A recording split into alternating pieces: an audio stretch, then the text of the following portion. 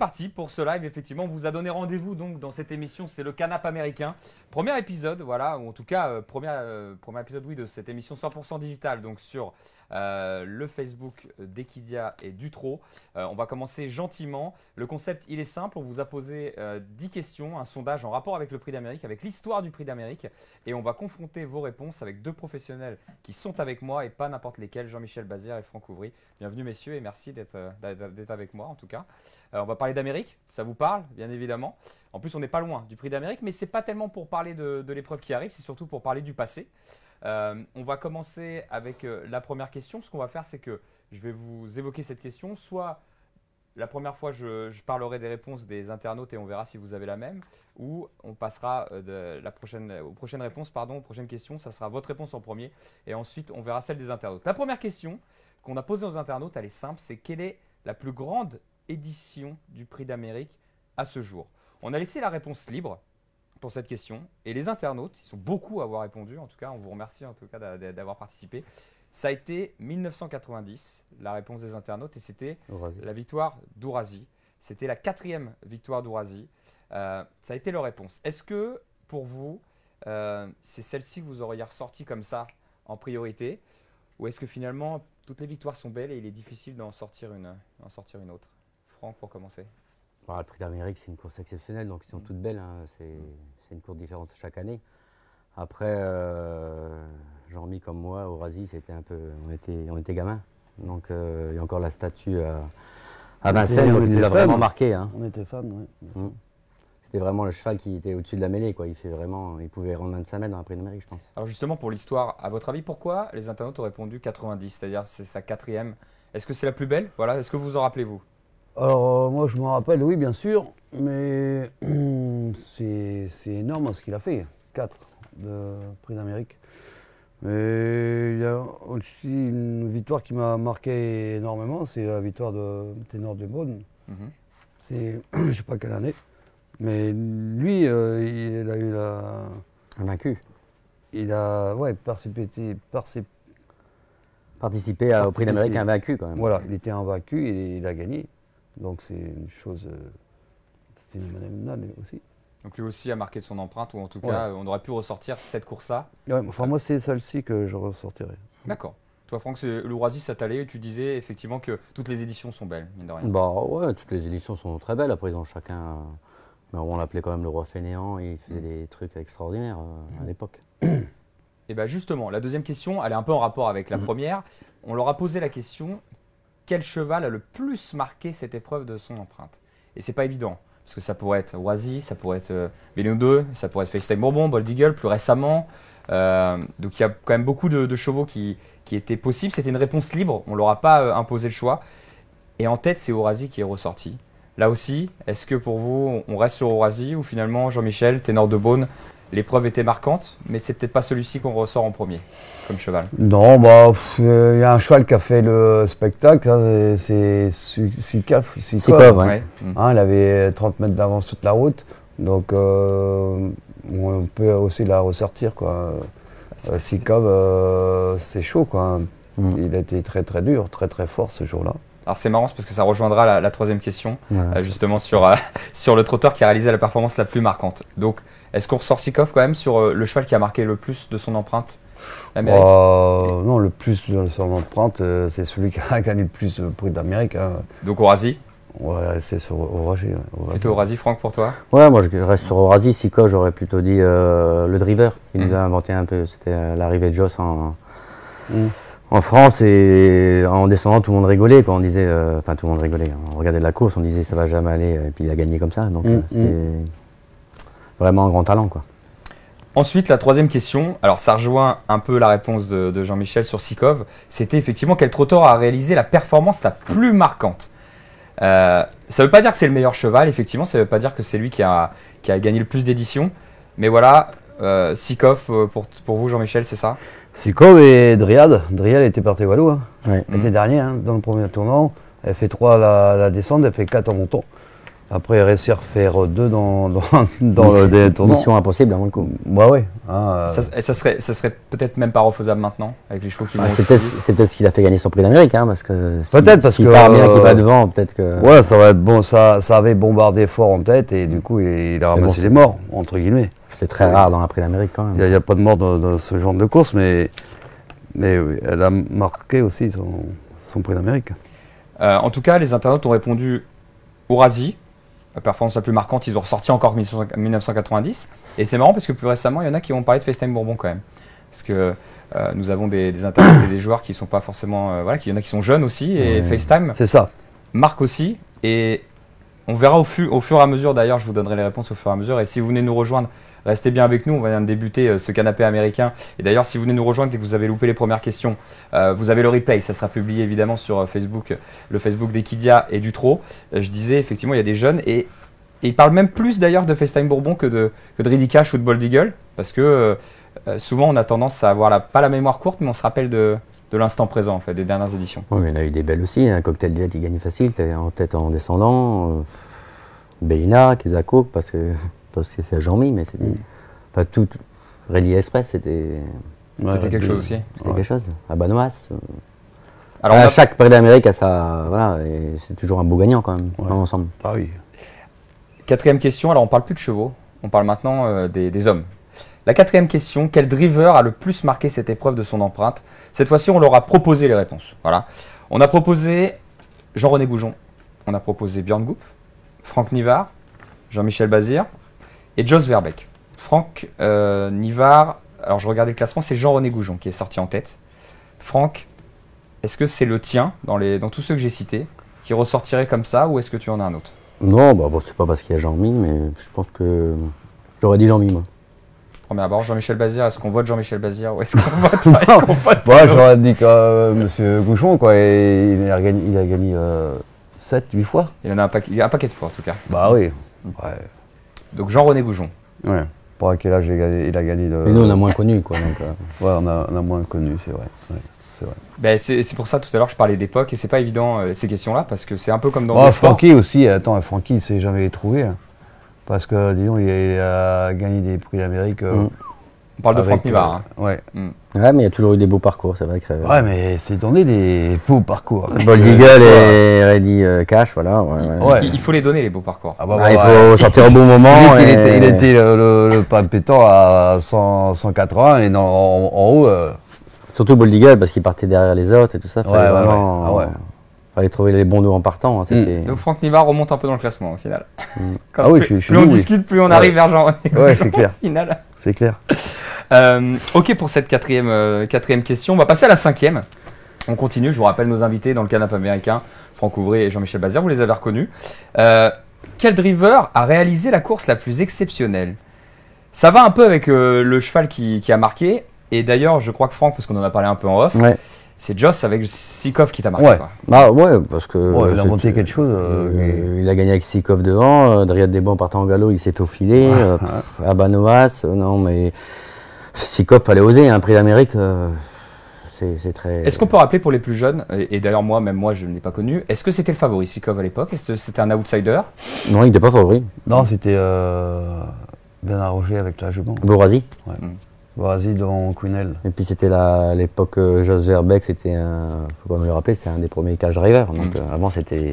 Ouais. Chaque entraîneur drivait ses chevaux. Donc, euh, D'où le fait que c'était pour vous assez exceptionnel, c'est-à-dire que quand on n'est pas favori, effectivement, et À aller prendre le un risque. plateau et prendre un risque. Bah ouais, c'est un risque tel quoi. Ok, Mm. bah écoutez, Jos Verbeek, en tout cas avec Sikov, vous avez l'air plus ou moins, plus Ouais. ou moins d'accord. Les internautes euh, ont aussi parlé de Jos Verbeek, c'est marrant. Vous êtes, euh, vous êtes vraiment pareil là-dessus. Donc ça, je pense qu'il a vraiment marqué cette course. Et d'ailleurs, on voit sa photo à à Jos, euh, puisque, puisque vous êtes raccord avec eux. On va passer à la sixième épreuve, et c'est pas évident. On parle des chevaux qui ont gagné l'Amérique, mais on va parler des chevaux qui n'ont pas gagné, mais qui l'auraient mérité. Voilà, la question, c'est la sixième. Une dormée Une de mai Et bah, c'est celle qui est sortie en premier. Jean-Michel Bazir, plus rapide qui dégaine. Effectivement, on a laissé la réponse, euh, la réponse libre, il me semble. Je sais plus si on a J'ai proposé pas vu tous ces prix d'Amérique, mais il paraît que c'était une horreur quoi. Moi j'ai Notamment- pas, j'ai pas trop vu. Notamment une Moi de, tête j'aurais dit Timoko. Ouais. Parce qu'il a gagné deux Elite Cup, deux Ouais, c'est secondes de l'Amérique, troisième. Et puis, Il manquait ça à son palmarès. Ouais, ouais. Une de mai, rappelons-le, c'est dans les années 50. Voilà, 50, 60, une de mai. Ouais, je- Euh, Ouais. Je crois, hein, je ne veux pas dire de bêtises, effectivement, mais on est dans ces années-là. Euh, oui, non, non, euh, tu es dans le pédo qui gagnait euh, 60, c'était 75, 60. ah, plus récent alors. ouais. Ah, je suis peut-être remonté un peu loin, effectivement, avec Ouais. une de mai. Mais euh, une fois d'ailleurs, j'avais vu un article, tiens, on va voir la photo d'une de mai, ça, ça remonte. Hein. Les sulkis, ils ont changé un peu de- depuis. Et j'avais vu une statistique, ils avaient converti les francs de l'époque en euros maintenant. Alors, c'est pas évident parce qu'il y a l'inflation Ouais. et tout ça. Ça faisait quasiment plus de. alors, entre, entre 7 et 9 millions d'euros. Ça aurait De, corré- de gain Ah oui, de gains. Si on l'avait fait Ah maintenant. la vache Alors évidemment, c'est difficile à, c'est difficile à, à calculer parce que les, les- les allocations n'étaient pas les mêmes avant. Donc c'est pour ça que j'ai pris une fourchette large. et Ouais. Mais ça prouvait à quel point elle était exceptionnelle. Elle a beaucoup couru et elle a beaucoup gagné surtout. Donc Et euh, puis il a gagné partout. hein. partout, partout, effectivement. ont tout fait, ouais. Donc une de mai, Timoko. Ouais, ouais, c'est vrai. ouais. Bah, Plus récemment, en tout cas. C'est ce qui me sort, ouais, récemment. Après, euh, Bah, c'est ce que les internautes ont répondu. voilà, bon, c'est bon. C'est pas mal, vous êtes, vous êtes bien les gars. Vous êtes dans le bon, raccord. dans le bon tempo. Après, on n'est pas obligé d'être accord, hein, c'est ça qui fait la beauté des choses. Septième question. Quel est selon vous l'entraîneur qui a le plus marqué de son empreinte cette épreuve? On a parlé des drivers tout à l'heure. Les entraîneurs, on a soumis un choix. Je propose Sébastien Garato, Jean-René Goujon encore, certains Jean-Michel Bazzi, Pierre Lévesque. Ouais, Pierrot, et c'est pas loupé lui. euh, La liste avec- est pas mal, hein. Avec ses Offshore Dream, Auchoir et puis. euh, deux Moll. fois, Et Moll. Paul du Corta. on du Corta. On a une liste, on a une liste sympa. Parce que c'est- marrant, puisque Jean-Michel, vous avez soulevé un point qui est, qui est pas mal, c'est que c'est pas forcément celui qui a le plus gagné, mais celui qui se loupe pas aussi. C'était un peu le cas avec Franck Nivard. Bah ouais. C'est-à-dire peu le, le- le courir peu de fois et le gagner à chaque fois, c'est aussi, ça remonte dans l'estime aussi. Ouais. Ouais, et puis euh, un choix qui peut aller devant, toi, c'est plus serein, quoi, mais il Mm. fallait planquer, quoi. Quand il faut, qu'il faut, faut planquer, c'est pas pareil. Donc dans la liste, Franck Ouvrier. Bah ouais, Pierre, ça peut être pas mal. ouais, Ouais, ouais, parce Pierre. que euh, gros pourcentage de réussite. Ouais. Mhm. Mhm. Ok, bah, Sébastien Garato est pas mal aussi, hein, je pense. hein, dans- Ouais, c'est clair. Oui, non mais dans les non cités, ils sont tous bien, hein, donc euh, voilà, c'est des, Ouais. c'est des gros palmarès. euh. C'est pas mal, effectivement. Alors, eux, ils ont cité Sébastien Garato, les internautes. Mm. Pareil, je pense que c'est plus dans la fraîcheur de, de- de l'esprit. Hein, Bold Eagle, FaceTime Bourbon, on est. euh, Ronson, elle, avait combien, elle était combien? Elle Deuxième, non? Elle est pas Deuxième, deuxième, je pense. Ouais. Deux ou trois. On continue. Il nous reste, reste trois questions. Voilà. Si vous venez nous rejoindre dans le live, vous êtes dans le canapé américain. Jean-Michel Bazir comme invité, Franck Ouvrier. On reparle de l'Amérique et de l'histoire de l'Amérique. Euh, on continue avec les questions, plus que trois. La huitième. Quel driver mériterait d'inscrire son nom au palmarès de cette épreuve de légende? Un driver qui ne l'a pas encore. Franck Aubry Franck Ouvrier. Moi, je dirais Raffin, Eric. Ouais, Eric. C'est le petit dehors qui a pas gagné. Non, mais oui. euh, Puis Jean-Mi. Ce que j'allais ce que j'allais dire, c'est que euh, tu peux pas répondre, tu peux pas répondre, euh, Jean-Michel Bazir, elle a déjà. Eric, et mine de rien, j'ai quand même une liste sympa. Alors, c'est plutôt des jeunes entre guillemets, mais Eric Raffin, Mathieu Abrivard, Alexandre Abrivard, Ouais. Gabriel et Guelormini. bah, ils ont le temps et ils ont 25 ans, les gamins, là. Bah oui, mais c'est ce que je dis.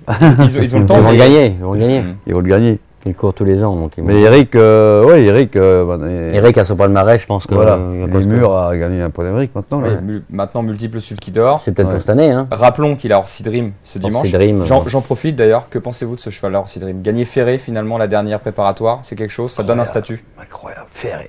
C'est incroyable, non? Ouais, bah oui. Même si les autres sont peut-être pas encore. euh, c'est pas le jour J, mine de rien, la dernière Non, mais pour moi, ça. Ouais, sera, non, ça mais- sera mon favori, c'est clair. Avec lui et Ida Outillard, Donc on a- pense que- On a une exclusivité, donc Jean-Michel Bazir, votre favori, ton favori, Ouais. c'est Orsi Dream pour Ouais, l'Amérique. ouais, ouais.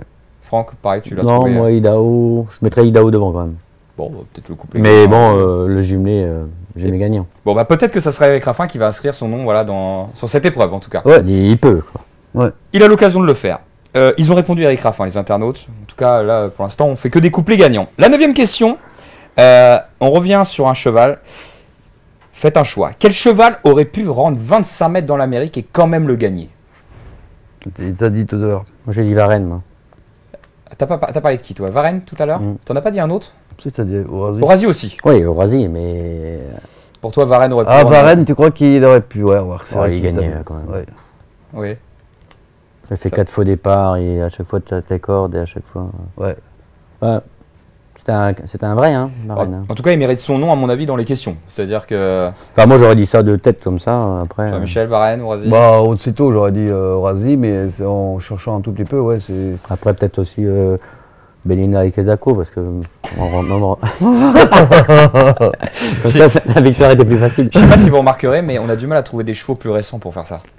On a plus de marge, hein, comme Non, non, c'est vraiment. euh, Non, là, Non, mais c'est vrai, quand on prend, prenons, on va dire les dix dernières années, même si on a eu des cracks, hein, je suis pas sûr que FaceTime puisse rendre 25 mètres, et on l'a vu. Je veux dire, euh, c'est Oh, c'est je pas, pense c'était- pas qu'il aurait c'était pu. pas non, possible. mais en plus, euh, Alors que c'est un encore, crack. la plupart sont là déjà aux avant-postes et puis ils sont. quand il a gagné, euh, pour pas avoir 25 mètres. hein. Ah non, je pense que non. Donc il faut remonter plutôt euh, avant, effectivement. C'est Bien ce que je disais, on va de plus en plus vite maintenant. Oui. C'est de plus en plus dur. Varenne, effectivement. Alors, ils ont répondu Ourasi. Il y, en a, il y en a quand même qui ont répondu FaceTime Bourbon. Bon, euh, qui aurait pu. Euh, dernière question. Alors, c'est une question qui est un peu spéciale. On a voulu la mettre quand même. Parce que, mine de rien, euh, elles excellent au trop monté. Euh, on va parler des femmes, hein, des femmes jockeys ou des femmes drivers. On les voit beaucoup plus quand même au trop monté. Et on l'a vu, on l'a vu notamment avec Grand Villesse Bleu et Camille Lévesque qui a terminé deuxième. Mais on s'est dit, si vous deviez engager une femme pilote pour driver une première chance dans l'Amérique, ce qui n'est pas évident, on le répète, on les voit pas trop dans les pelotons à l'atelier, un peu moins en tout cas, il y en a. On les voit beaucoup en amateur hein, quand même. Euh, Je pense à Sophie Blanchetière, on pense à, à Virginie Boudier-Cormy. Et Gilles Zell. Qui, et j'allais dire Gisèle Ambrogio aussi. Ouais, t'as eu le pourcentage de réussite que- qui est là. Alors, justement, j'allais dire, j'ai regardé, les, bah, moi j'aime beaucoup les stats, j'allais dire, je- elle, est plus, elle, est, elle est mieux que Jean-Michel Bazir. Ah bah c'est clair. Elle est, à- je crois, elle a plus de 30% à la gagne. Ah oui. Tout ce qu'elle Ouais. mène. hein, et- Incroyable. Ah, c'est- sous d'autres catégories, on parle des catégories amateurs. Mais plus sérieusement, est-ce que vous avez un choix qui vous vient en tête? Voilà, je vous dis demain, il y a le prix d'Amérique qui se court. Obligatoire de mettre une, femme. Alors dans la liste, on a proposé aux internautes quand même Camille Lévesque, parce que même si Camille, on la voit plutôt au montée, ça reste quand même une professionnelle. Mais euh, voilà, est-ce que vous en avez une? J'ai dit Sophie Blanchetière, Virginie Boudier-Cormy, Camille Lévesque, Gisèle Ambrogio, et je crois qu'il y en a même une autre que tu apprécies, euh, Franck. Ouais, non, moi j'aurais dit de tête comme ça, Anna, Anna tout de suite. Parce que Ouais. pff, elle a fait un truc euh, splendide euh, en Belgique l'année Mhm. dernière. À qui? Anna Huguette. Elle est celui qui dort en Belgique. Ah oui, oui, si. Si, elle, a fait le tour européen avec son Voilà. là. Ouais, t'as raison, aussi. Latom. Euh, c'est- tu prends aussi, J'en hein mets ici pour ça. Ouais, on tire le sort. euh. Non, mais t'as Non, non, mais- raison. Si, elle disait merde. Euh, c'est la première femme, je crois, euh, qui a celui qui dort. quand Oui, oui. Non? Non, mais moi je, je rigolais parce que. Moi j'ai découvert deux droits en Belgique, elle gagne 3 courses sur 8 à chaque fois. Eh bah, les stats sont pour elle alors. Après, je sais pas son Ouais, pourcentage ouais, un. Elle a gagné plus de 100 courses l'année dernière quand même. Mm. Ok. Elle a- Est-ce qu'elle a déjà drivé en France d'ailleurs? Je, je- Oui, beaucoup dans le Nord. Après, ici, elle a gagné une montée, un semi classique, je crois. Ah oui. Avec le cheval, là. Attelé, ici, elle, a- elle est- elle est venue mener Cyril Datom, je crois. Mm. Mais bon, euh, elle s'y ferait vite. hein, euh, pourquoi pas. hein. En tout cas, euh, c'est c'est vrai que ça manque un peu de, quand même de femmes drivers, on les voit peu hein, Ouais, dans, bah, dans les pelotons. oui. Qu'est-ce qui... aussi. hein. Au- au- comment? Ils ont du boulot aussi, ils peuvent paraître partout. hein. C'est vrai. Mais euh, d'ailleurs, on les voit, on les voit de plus en plus au, au galop. On- on- Ouais. Après, il y a les histoires aussi de, de décharge, etc. Ce qu'on peut pas faire, euh, ce qu'on peut faire au. Après, c'est pas plus mal. hein, en tout que Jean-Mi trop galant, après, il va plus. il va plus traîner. Bah, déjà que Jean-Michel, il s'est un peu effacé avec les années. euh, si s'il y avait une cash driver, euh, bah, peut-être que vous driverez plus du tout. Alors dans ces cas-là, c'est ça que tu viens Non, non, non. non, non, mais c'est. Non mais voilà, en tout cas on voulait leur faire une place et, euh, et on voulait poser cette question effectivement si euh, Non, non, mais a des. Comme, euh, surtout en amateur, hein, Sophie, Bah, Virginie. euh, franchement les Ouais, statistiques parce que euh, de, Non, non, de pro, euh, de euh, euh, excusez-moi mesdames, mais euh, je, qui Bah, qui drive attelé, il n'y en a pas tant que ça. mais, non mais je l'ai dit en préambule, il y en a il y en a pas, il y en a quasiment peu en fait. Mm. Euh, Oh. mais en amateur, mine de rien, euh, on les voit beaucoup et c'est elles qui ont les meilleures statistiques en tout cas Mais- euh, sur celles que j'ai citées. Ouais, c'est vrai. Florence, paix à son âme, elle, était, elle, elle avait sa Un place. Ouais. Ouais. Elle a gagné un quintet, Florence. hein. Ouais, euh, puis elle avait sa place. Et à. Cagnes, elle faisait tous les hivers. Ah ouais. euh, mm. Bon, bah, en tout cas, on- sur cette dernière question, les internautes ont répondu plutôt Camille Lévesque, mais parce que c'est le côté, je pense, euh, Bien sûr. plutôt professionnel Mm. déjà, et on la voit, on la voit quand même pas mal au monté. Elle aussi euh, fait quand même une- un beau meeting d'hiver, même toute l'année. hein, je regardais, alors, on va Mm. me dire que je parle que de, que de stats, mais euh, elle est quand même très très bien à chaque fois qu'elle est assise sur un sur un cheval, elle est quand même très souvent à l'arrivée. hein. Ah oui. Euh, mais ça n'a pas pu lui sourire avec Grand Villesse Bleu. euh, On espère euh, que ça va lui sourire en tout cas. Bon, on est arrivé au terme de ces 10 questions. Bon, je pense qu'on a, on a, on a parlé de beaucoup de bons chevaux, beaucoup de, d'hommes de, de Ouais. chevaux. Je pense pas qu'on en ait oublié dans la liste. Voilà, est-ce qu'il y a, il y, a, il y, a, il y a un professionnel ou un cheval qui, qu'on aurait peut-être oublié Petit Jules a marqué le, son- ses, ses Ouais. années aussi avec, Général euh, du Pommeau, ouais. avec Général. euh, Mm. Idéal avec euh, Monsieur Lefebvre, pareil. Mm. Il a remarqué son temps. hein, c'était euh, quand il est rentré euh, au, au village, un- c'était euh, c'était tout un simulacre. hein, On parle de Jules Lepentien, évidemment, pour Ouais. ceux qui, euh, qui nous Et- regardent. Donc, il est, effectivement, son nom et Général Dupommeau avaient aussi leur place quand même dans une liste comme celle-ci. hein. Oui, bien sûr. Bon, bah, bon, on terminera, on terminera là-dessus en tout cas. Merci beaucoup Jean-Michel Bazir, merci beaucoup. Franck Ouvry d'avoir été là. C'était la première en tout cas de cette émission donc 100% digital, je le rappelle, le Canap américain où on a refait l'histoire euh, du prix d'Amérique et, et comme vous le voyez, il y a quand même beaucoup de choses à dire et euh, que ce soit sur les différentes générations. En tout cas, j'espère que ça vous a plu. Euh, si vous êtes venu en cours de route, vous inquiétez pas, ça sera publié la vidéo sur le Facebook donc du Trot et d'Equidia. Comme ça, vous allez pouvoir revoir la vidéo en entier. On a quand même parlé de choses sérieuses, mais on a aussi un petit peu rigolé. Donc c'était une émission sympa. Merci en tout cas d'avoir joué le jeu, messieurs. Et puis après, je vais vous libérer, bien évidemment. Euh, oubliez pas, le prix d'Amérique, c'est très bientôt. Donc euh, prenez vos places hein, sur, euh, sur les réseaux. Euh, N'hésitez pas à aller sur le site, sur le site prix d'Amérique Races, notamment pour, pour vous inscrire. Et on se retrouve justement ce dimanche pour la plus belle voilà, de l'année, sportivement parlant, au niveau des courses hippiques. À très bientôt.